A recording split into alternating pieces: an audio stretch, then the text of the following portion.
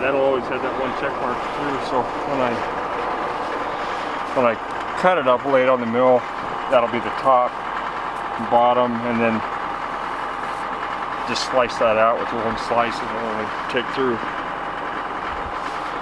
Yeah, That's, not bad. Yeah, it's up out of the weather, so Uh, cut, an, cut another couple of them while we're here. Let's look. yeah.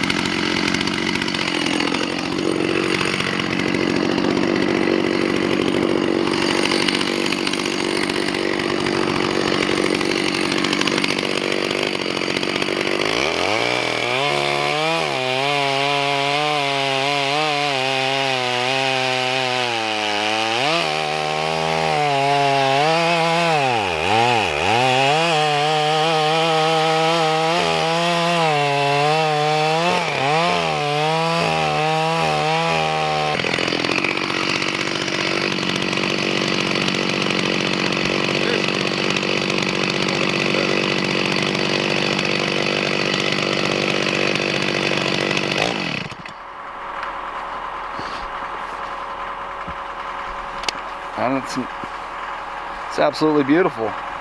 Yeah, it's got a little bit of stain. A little softer in the center, but not not rotten. Is it just because it's wet or? Wet, real wet. See if the moisture meter will even.